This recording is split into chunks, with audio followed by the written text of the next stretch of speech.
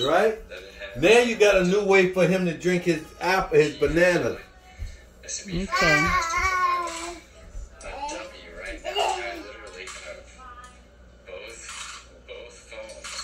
Good job.